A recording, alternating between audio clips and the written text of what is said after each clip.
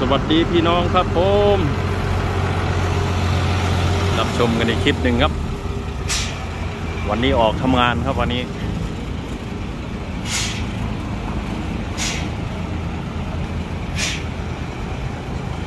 พลังงานหมุนเวียนเท่าครับพี่น้อง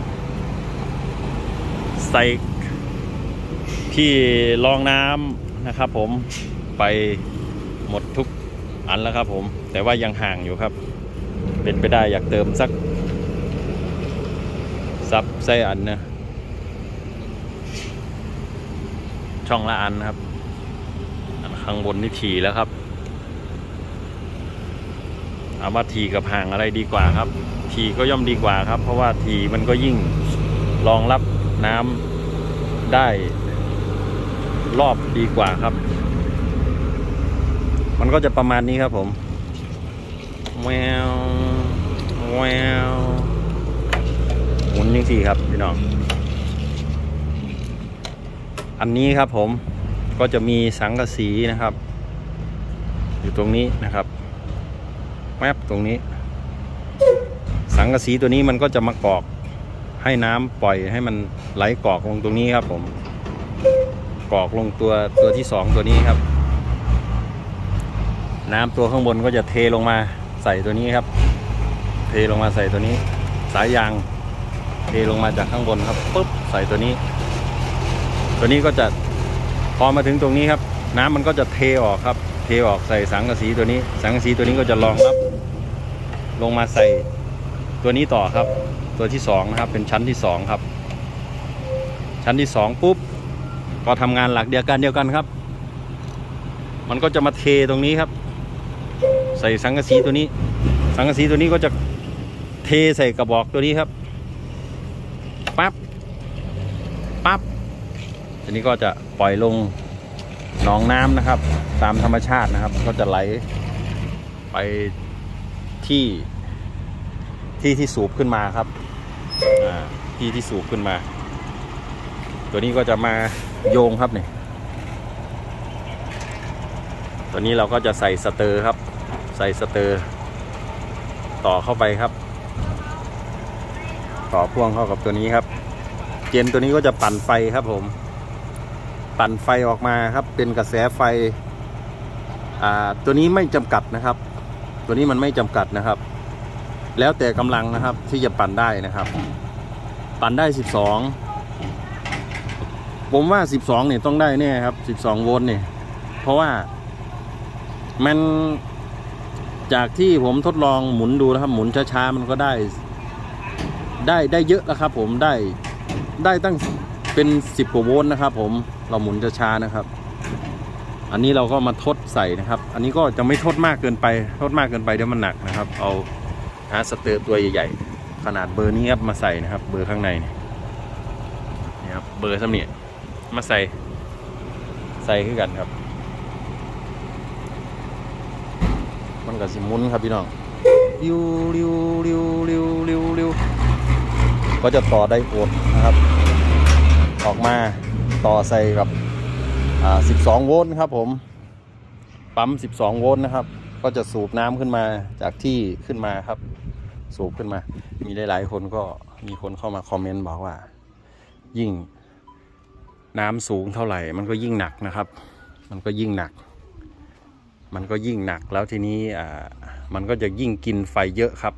กินกระแสไฟเยอะนะอันนี้เข้าใจครับผม อันนี้เข้าใจ แต่ว่าตามที่ เราอาจจะแปลงใส่แบตเตอรี่ก่อนนะครับ ใส่แบตเตอรี่ก่อน ตัวนี้ก็จะมาชาร์จเข้ากับแบตเตอรี่อีกทีหนึ่งครับ แบตเตอรี่ก็จะไปสูบน้ำขึ้นมานะครับ สูบน้ำขึ้นมา แล้วก็อันนี้ก็ชาร์จเข้าแบตนะครับ อืมลองเบิ้งพี่น้อง อันใดมันสิได้ครับ ถ้าได้ก็ ก็จะเป็นผลงานที่เรียกว่า ค้นคว้ามาตั้งนานครับ อืม หลักการนี่ มันอยู่กับตัวนี้แหละครับนี่นี่เพราะว่าหลาย ๆ คนนะครับ ส่วนมากก็สิเฮ็ดเฮ็ดกังหันเดียวครับกังหันเดียวนี่บ่ได้แน่นอนครับ ยังไงก็ไม่ได้ครับกังหันเดียวนะครับ เพราะว่ามัน มันไม่ไหวครับผมกังหันเดียวนี่สู้ไม่ไหวครับ เราก็เลยคิดค้นให้มันสามกังหันนะครับสามกังหันเพื่อให้มันอะไรครับ เพื่อให้มันแรงท็อกมันเยอะครับ แรงท็อกมันเยอะนี่มันช่วยกันนะครับเนี่ย ตัวนี้ก็จะโยงมา โยงโยงใส่กันหมดเลยนะครับ โยงใส่กันหมดเลยครับพี่น้องนี่ตัวนี้เฮาก็สิตึงเฮาสิหานั่นมาตึงลงนี่ครับ ตึงยังสี่ครับพี่น้องตึงสินี่ก็ตึงลงนี่นะครับ เพื่ออะไรครับ เพื่อให้ตัวนี้ตัวกลางนะครับ มันเกาะ มันมีที่เกาะเยอะหน่อยนะครับ แต่ว่ามันก็ไม่หลุดนะมันหลุดดอกพี่น้องหมุนมาถึงทางว่าไดต้องหมุนถึงทางทีครับ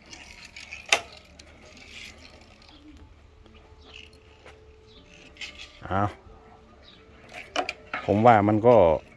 น่าจะโอนะพี่น้อง น่าจะโอเคนะครับ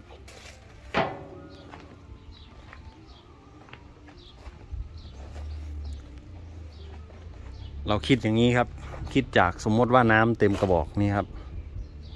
น้ำเต็มกระบอกนี้ เต็มกระบอกสองอันนี้ครับ อันนี้อันนี้อยู่ในตำแหน่งเทนะครับ อันนี้ตำแหน่งเทแต่อันนี้นะครับ อันหนึ่งอันสองอันสามนี่ครับ ถ้ามันเต็มอยู่ลักษณะนี้เราจะได้แรงท็อกเท่าไหร่ครับเนี่ยสามกระบอกนี้ครับเนี่ยถ้าน้ำเต็มเนี่ยเราจะได้มันจะ ตัวนี้ก็ได้กระบอกนี่ก็ได้กระบอกนี่ต้องใส่อีกอันนึงพอดีครับพี่น้องจังค่อยสีทีใส่อีกอันนึง น้ำเต็มกระบอกนี่ อีกตำแหน่งเท่แหละครับ ตัวนี้ก็เต็มกระบอกนี้ครับ แรงบิด โอ้เยอะอยู่ครับ ได้เยอะอยู่นะ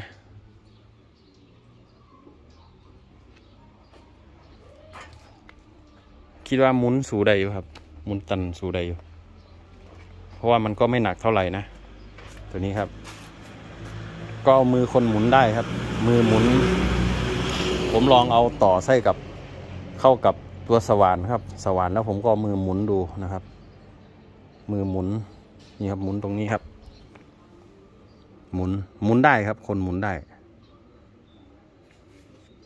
นี่เป็นสเตอร์นี่ย่างน้อยก็สิว่าได้อยู่ว่าครับพี่น้องอะติดตามชมกันครับผม ว่ามันจะได้ไหมนะครับ